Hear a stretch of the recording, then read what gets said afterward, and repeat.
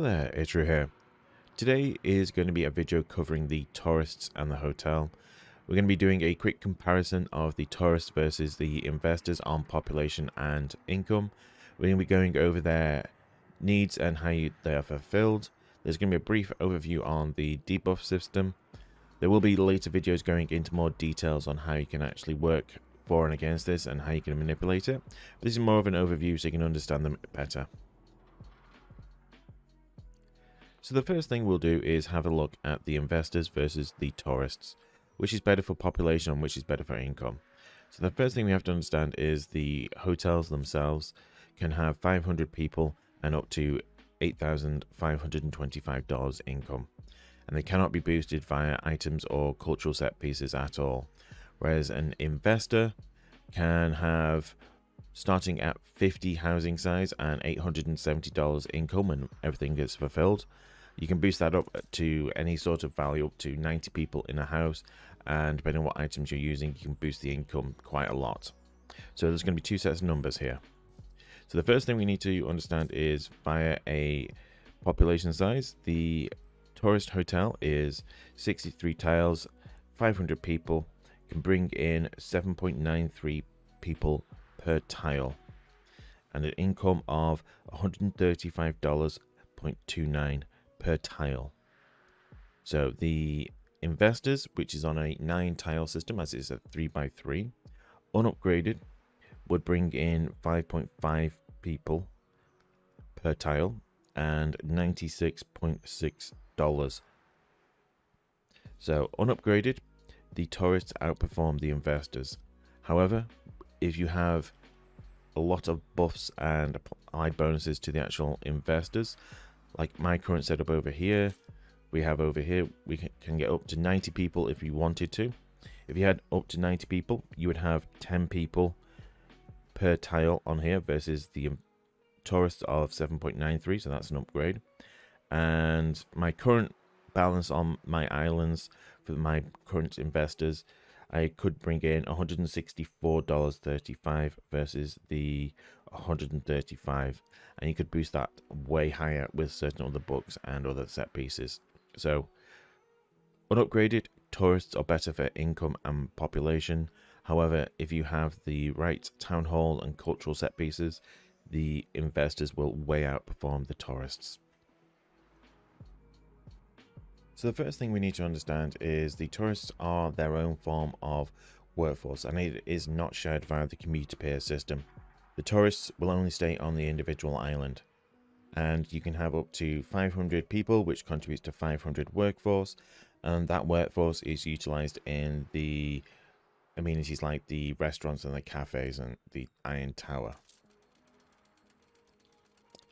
Now, to reach the 500 people here, we have to fulfill each of these requirements in their needs as a regular resident. However, the difference between the regular and the tourist is each of these requirements can actually contribute to income as well. So you're going to be boosting out the number of population and your actual income.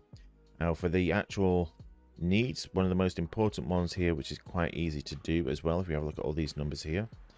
The shampoo is a really, really powerful one for boosting the number of people you actually have in the tourist hotels. It's 105 tourists fulfilling that requirement, which is way more than any of the other ones. The next thing we have a look at is the happiness screen. And this is broken into two sections. We have the main items which are very easy and base item sets. So you'll only need the base version of the game to do these, like the fur coats, the rings, and the lemonade and the souvenirs. And then on the side, we have the optionals. Now these will be whether they are cultural sets as part of the base game, or they will be part of DLCs like the zoo is base game, the museum is base game, and the World's Fair is base game whereas the Palace, the Botanical, and Docklands are all DLCs, so these are optionals. And if you have a look at this, we're getting three happiness and 300 and odd dollars per, which is a reduced amount versus the amount of income and happiness that you can get from the base versions of the game. So that's how they're balancing it.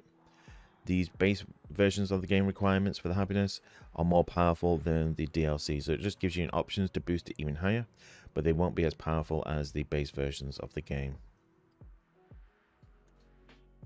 Sticking with the happiness side of things, if we have a look here, my current tourist hotel is extremely happy because as you can see there is a lot of things that can boost up happiness. So we have plus 54 on the happiness here. Now, as there are a lot of options here for increasing the happiness, if we're not fulfilling those requirements, there can be a stark difference in the actual happiness. So we've gone from 54 down to negative 5 because of a multitude of different things here. Now, the only difference between the DLC requirements and the base version of the games for the happiness is if you have a look here, the fur coats, if you don't fulfill them, it gives a negative 3 on the happiness. And these are all base parts of the game. Negative 3. However, the DLC options, like Docklands, if you're not fulfilling it, it is zero happiness. So you're not going to get a detractor for not having the DLC enabled and the DLC actually built up at the present time. So if you have the DLC enabled but not built, you're not going to have a negative detractor. However, base versions of the or base items, you are going to have a negative detractor. As you can see, if we don't fulfill the requirements, the actual building as regular items will actually de destroy themselves. So the next thing we'll do is the public service buildings and the bus system very briefly. So how this works is the hotels have requirements on their needs and for the needs for the public moorings, the variety theatres and the restaurants and cafes and all the cultural set pieces, they need to have the tourist hotels connected to the individual buildings via a bus network. So we have the green bar on the road where we have bus stations dotted around the whole island, which is basically the overall linking of the whole network. However, that doesn't mean the range on, say, a variety theatre over here will cover all the way to there. And the variety theatre has to be in range of a bus stop, which is indicated on the blue circle here. So the connected buildings need to be inside of a blue circle of a bus station and the green on the road is the overall network. However, that doesn't signify like the strength that that variety theatre from here will actually expand across the whole road network. To expand on this further, if we have a look at this hotel here, as you can see, we have the public mooring down here, which is in range. We have the variety theatre, which is in range, which is over here. And we have access to the pubs and bars and stuff like that and they have access to the cultural set pieces here now if we have a look at this one over here as we can see here the needs the variety theatre and the cafe and the restaurants have actually dropped distinctly down because the closest one is all the way down here. However there is some form of coverage but you will not be getting the boosts from the cafes and restaurants like the consumption reduction and the happiness boosts and stuff like that but they will get their requirements fulfilled to some extent over here. Now where things vary is in regards to certain structures now as you can see here there are buildings that have no range. As long as there is one on the island and it is connected via a bus network it is just full coverage no matter where it's placed, like the public mooring or the tourist mooring, the Iron Tower, the Docklands, the to Power Palace, and the World's Fair. They are all globally full 100% as long as there's one on the island. The cultural set pieces and the variety theatre and the pub, excuse me, the cafe, the restaurant, and the bars all have a range that extends out from the building to the actual hotel connected. Now for context, if we have a look at the size of the Cape and where the buildings here for the variety and the cafe and the restaurant and the bar are, which are over here, and it has to travel all the way along here, that's a really long distance that it has to cover for their requirements. and this distance is dropped it down to about 50%. So as you can see, they do have a coverage range quite far. They do have a drop off range of uh, a quite short distance for some of the cultural set pieces. Like if we have a look here, the I have a mini set of the cultural set pieces here, and they are full here, and they drop off down to 99% here, which you're going to be losing one happiness from that sort of distance here, and there's no way of boosting this out any further technically. There is one or two little things you can try to maximize the actual range, but you can't increase the range. You can move the block of range slightly depending on where the bus stop is, but we'll cover that in a future video. But as you can see, they do have quite a drop off from that 1% of happiness. But if we have a look over here, this I don't understand. haven't figured this bit, out. It seems to drop off completely about on this distance. But as you can see, the museum has dropped down to 78% here. And we're down to one happiness. But we're still making a lot of money from them. It's just we are losing some of the happiness over here. So as you can see over here, we're down to 46 happiness, which is still a lot of happiness. And we've gone from 500 coverage down to 408 from that distance from the amenities down here. So you do lose some, but it's not a massive drop. The only thing you're going to be lacking on is the actual, if you have regular housing around here, the restaurants and the cafes over here do have a range of their boosts, which is quite far, and you can stack them and overlap them. So it's not a drastic drop off.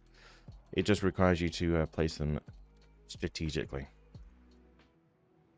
The last thing we'll cover off very briefly, there will be a more in-depth video covering it, is debuffs. So if we have a look at this test island over here, we can see here we have our islands over here, and even though there is full amount of bread in storage and they have a variety theatre next to them, they're not going to full capacity here because they have a happiness or attractiveness debuff. So up here we can see we have debuffs up here, all needs reduced by 10% and the Variety Theatre and Iron Tower are being reduced as well by 20%. So even though we have full coverage, technically, the soft cap has been reduced because of these items. So now the tourists that we're getting from the Variety Theatre, which should be 25 because it's next to it, because we haven't hit certain requirements, that is soft locked us down to 17 tourists and $157. And the same for the bread and the restaurant if we had it up and running as well. And this would apply for all of the needs requirements over here.